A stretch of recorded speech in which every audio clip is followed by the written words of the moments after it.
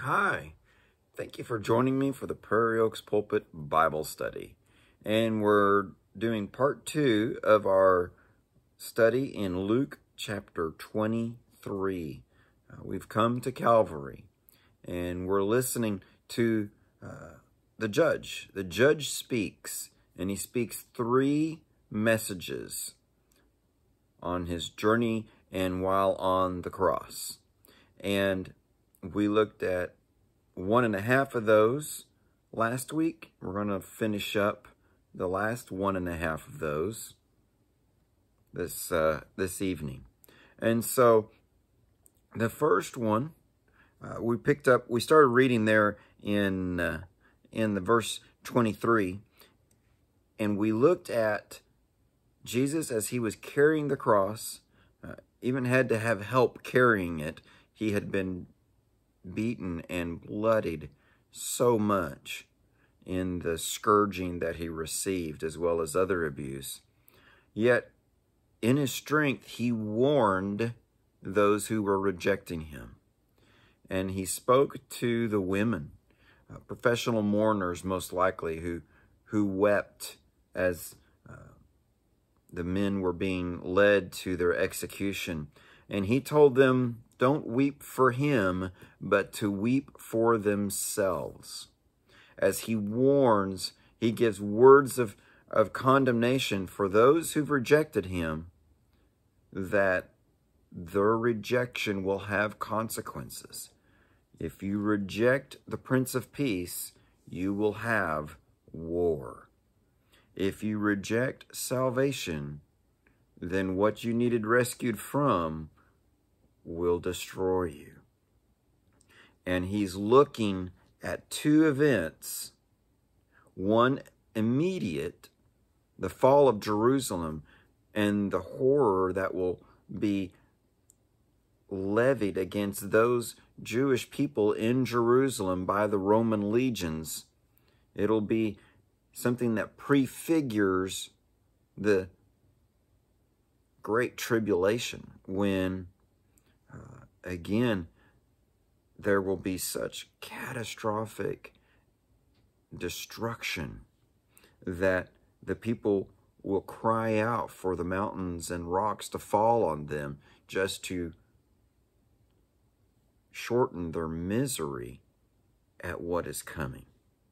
And so he warns, don't weep for me, but weep for yourselves. And it's interesting in that picture of weeping because the previous time there's weeping mentioned in Luke, it's Jesus weeping over Jerusalem because he knew the rejection was coming and was already in play, and he wept for the destruction and condemnation they would experience because of that. But for those that are willing to repent, they can be rescued from that condemnation. And that's where we pick up in verse 32 of Luke chapter 23. So let's look at that. There were also two others, criminals, led with him to be put to death. And when they had come to the place called Calvary, there they crucified him, and the criminals, one on the right hand and the other on the left. Then Jesus said, Father, forgive them, for they do not know what they do. And they divided his garments and cast lots, and the people stood looking on. But even the rulers with them sneered, saying, He saved others, let him save himself if he is the Christ, the chosen of God. The soldiers also mocked him, coming and offering him sour wine, and saying, If you're the king of the Jews, save yourself. An inscription also was written over him in letters of Greek, Latin, and Hebrew, this is the King of the Jews. I'm going to pause here in our reading because we talked a little bit about this last week as well. This is the half of the words from the judge when the judge speaks. And that is the words of mercy, isn't it? Because as he is being crucified, as the nails pierce his flesh, what does he say? Father, forgive them, for they do not know what they do. And we saw where he prays for their repentance, that they would receive his offer of mercy, that they would receive that gift of forgiveness. And we saw where there's a Roman centurion, even one of those who was the soldiers nailing him to the cross. At the end of it all, he says, Truly, this was a righteous man. Truly, this was a son of God. This was the son of God. And so we don't know his heart. God does. But recorded for us in three, uh, if not four, of the gospel records is this exclamation of the righteousness of Jesus. And we can't help but think he was being saved as he put his faith in Jesus. That that's an exclamation of, of genuine faith in this righteous one who was crucified. We hope so, right?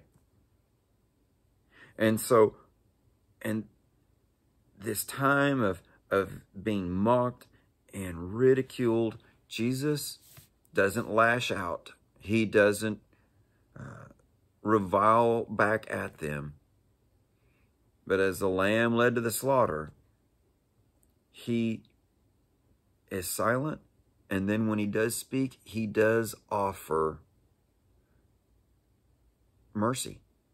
He gave the warning. But as with all of God's warnings, as we see in the book of Jonah and Exodus and other places, when God warns, implied or often explicit in it is an offer of mercy if only people would repent. And so we see that proven at the cross. So now let's go back to our text, Luke 23, and we're going to pick up in verse 39. Then one of the criminals who were hanged blasphemed him, saying, If you are the Christ, save yourself and us. But the other, answering, rebuked him, saying, Do you not even fear God, seeing you are under the same condemnation? And we indeed justly, for we receive the due reward for our deeds. But this man has done nothing wrong. Then he said to Jesus, Lord, remember me when you come into your kingdom. And Jesus said to him, Assuredly, I say to you, today you will be with me in paradise. And so, what I read between the lines for the Roman centurion, we see spelled out for us in Jesus's second saying from the cross here uh, as he offered forgiveness and then we see one receive that forgiveness. So let's let's unpack this here. Now both thieves, both robbers, both rebels, uh, they both mocked and blasphemed him. That's what Matthew and Mark tell us. And then there was a pause, and as one of them starts to do it again, the other has had a change of mind. He says, Do you not fear God? Do you not understand there's a judgment to come? A lot of people would act differently if they remembered that there is a judgment to come. We will be held accountable for our decisions and choices and actions. Whether you are the president or a pauper, you will be held responsible for your choices. And we looked at that when we were looking at Pilate and his choices. Do you not fear God? Do you not fear the judgment to come? Because every mouth will be shut because nobody will have an excuse before God. Everyone has sinned. Everyone has rebelled against God. And this one, he realizes death is coming really quick. He's being executed the same as this as the other two. You're under the same condemnation. You're dying. But there's a difference here. we deserve what we're getting. You not catch that? And we indeed justly, we receive the due reward for our deeds. He owns his punishment because he is owning his sin. He admits his wrong. And he ad admits that he deserves condemnation. It's hard sometimes for people to admit when they're wrong, even when they're caught red handed. But this one, he admits it. He didn't play the victim. He knew he was wrong in what he had done. But this man has done nothing wrong. He too proclaims the innocence of this one, of Jesus. He's done nothing wrong. But then his next words are one of the high points of the scriptures because it is such a profound exclamation of faith as he on his cross turns and looks to the man on the middle cross and he says, Lord, you're the boss of me. You're the master. Remember me. Have mercy on me. Take thought on me. I have nothing to offer. I have nothing to give. I'm going to be dead in a few hours anyways. All I can do is cry for mercy to one who is my superior. Remember me when you come into your kingdom. He believed in an eternal kingdom come. And he knew this dying man next to him truly is the king of the Jews, just as the sign said. This man is not just the king of the Jews, he is the eternal king of glory. And that this dying man isn't, uh, his life isn't just ending. He's going to continue in better life because he's going to be resurrected. There's no other explanation for it, is there? He believes this guy's going to be in a kingdom and that he wants to be in it. Doesn't deserve it, but he just cries out for mercy. Believing this man it when he said, Father, forgive them. Is there hope? This man has nothing to offer. He's been a sinner. He's already admitted his guilt. Can God forgive sinners? Jesus said to him, Assuredly, believe this because it is true. Amen, Jesus says. I'm telling you, today you will be with me in paradise. Today, not at some distant time, not after significant delays due to processing or, or delivery delays. No, you will be with me in paradise today. We're going back to the garden of God. The kingdom is real. You'll be with me in the king's garden. Something we talked about in our uh, Bible study last week. Uh, not on the video, obviously. But when it speaks of paradise, it's borrowing from uh, the culture of the day in the ancient Near East where kings in their palaces would have an attached enclosed area with trees and and water flowing and it's a description of Eden with all this just richness in nature and it's where the king would go and he could meet with people and they could fellowship together. It's all those things are woven in the Garden of Eden. And that's how this word is used in the rest of the scriptures, referring to God's paradise. This guy has no righteousness to offer, but he'll be allowed into the presence of God through Jesus Christ. Repentance and faith. No works done.